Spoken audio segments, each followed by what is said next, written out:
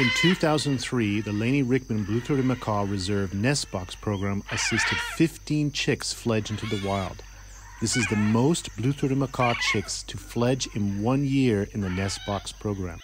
The 6,000 acre, 2,500 hectare Laney Rickman Blue-throated Macaw Reserve owned by Asociación Armonía is in the southern part of the blue-throated macaws range. Bird Endowment has been supporting the Nido Adoptivo Nest Box program since 2005, previously in private cattle ranches in the area. A total of 128 chicks have successfully fledged from Armonia's Nest Box program, underscoring its substantial contribution to the conservation of this critically endangered species. The Blue Throated Macaw Artificial Nest Box program for the 2023 breeding season has yielded some encouraging results. Out of a total of 128 nest boxes installed, 14 were utilized by blue throated macaws, showcasing their increasing acceptance of our nest boxes in the area. Throughout the breeding season, there were 18 breeding attempts, resulting in laying of 47 eggs. Of these, 20 eggs successfully hatched, and an impressive 15 chicks successfully fledged, surpassing the previous record of 12 fledged chicks in 2021. Here are the eight nest boxes that successfully had blue throated macaw chicks fledged to the wild for 2023. The nest box sponsored by Laurel Rower had two chicks fledge into the wild. This box had two nesting attempts, which we assume was by the same pair. The first nest of three eggs was abandoned after a conflict with black bellied whistling ducks. The second breeding attempt was successful with three eggs that hatched two chicks, which developed normally and fledged early June. The nest box, sponsored by Bird Gardens of Naples, Cariella and Lorman, had three chicks fledged to the wild. This nest also had two breeding attempts, with the first nest with five eggs where two chicks hatched, but one chick could not sit up properly, where they both died. The second breeding attempt was successful with three eggs and one chick fledging. The nest box sponsored by Kimberly DePaul in memory of Jean DePaul had two chicks fledge into the wild. One successful breeding attempt with two chicks fledging from their nest. A barn owl attempted to enter the nest, but the cavity was too small for its head. The birds fledged in the wild late March. The nest box, sponsored by Bird Gardens of Naples, Kiriella and Lorman, had three chicks fledged to the wild. This is our star nest box, where this was the fourth season it was used, and this year with three chicks fledging. There are hanging brown pendulum like nests of the crested Pendula in this tree as well, also found in two other successful nest boxes. There might be a mutualistic benefit for both species to breed in the same isolated palm tree, more eyes and bodies to fight off any snake or other predator.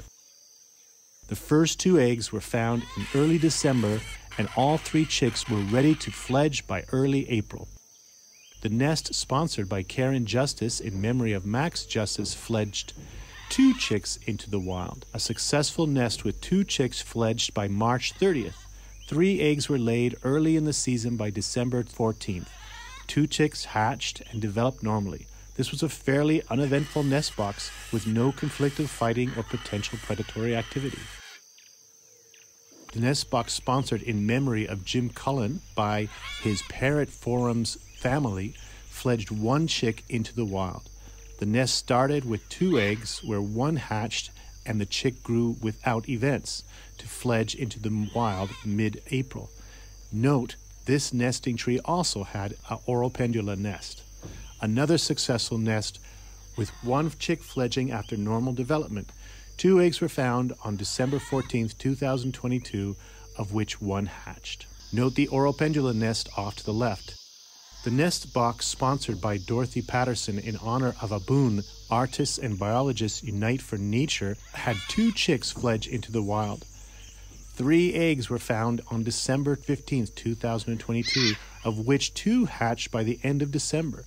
Two chicks developed quite quickly in comparison with other nests that were active at the same time. The first chick fledged by March 15th and the second by March 22nd. The nest box, sponsored by Laurie McFarlane, had two chicks fledge into the wild. Here we see the threat some blue throated macaws have with black bellied whistling ducks. This box had a failed first attempt where one of the two eggs was found cracked. The second attempt was successful with three eggs laid by January 28th and two chicks developed normally and fledged by May 15th. We still do not understand exactly what are the perfect ingredients of a nest box. Sometimes we see intense battles over a specific box when there is an empty nest box 30 feet away. We wonder if some nest boxes might be popular because that was where the chick had fledged from. But it's encouraging this year that eight new nest box sites were used by blue-throated macaws. We are constantly improving our nest box program, but we do not believe that all blue-throated macaw chicks must survive. Nature must select for the healthiest to live a long life in the wild. We also know that often a young parent pair will have a few failed breeding attempts as it learns how to raise its young. This is part of the natural process. This year we had three blue-throated macaw nest boxes with eggs that failed and three nest boxes with one chick that died.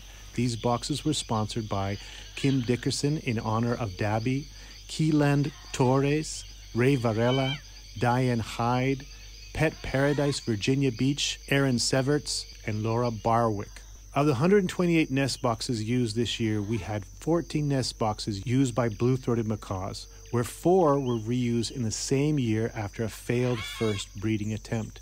Over the years, it has become clear that with blue throats, the egg laying stage receives less protective effort. They won't defend a nest with just eggs very well. But on the other side, this is a very fragile period, as they will abandon the nest with just eggs if outside conditions seem dangerous to them. We have witnessed startled birds cracking eggs on attempting to leave the box quickly, but it appears an abandoned nest with eggs does not mean they won't breed again the same year.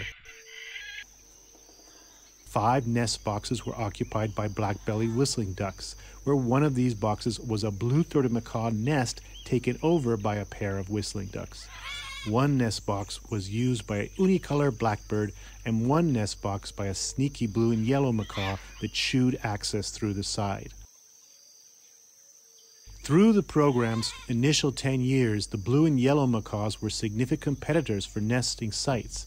Today, thanks to continuous adaptations and improvements, the blue and yellow macaws are no longer the primary competitors for the nest sites. In 2023, we were able to place a camera in front of each breeding blue-throated macaw nest box. The camera traps have shown clearly that there are specific threats like mammal predators, namely the brown capuchin monkey and the tayra, a type of intelligent terrestrial otter. The traps have only shown owls like the barn owl as a potential bird nest predator. When we began the nest box program, we witnessed toucans attacking chicks in shorter boxes with wide holes. But since we changed the box and hole size, this has not been a problem. The camera traps have revealed that nest site competition with other species is a significant threat to blue-throated macaw successful breeding. Competition with the red and green macaw recorded again this year continues to be a threat to one of the boxes. The camera traps in the past have recorded fighting between black-bellied whistling ducks, which we did not think was that significant, as surely the blue-throated macaw's strong bill is a threat for a duck.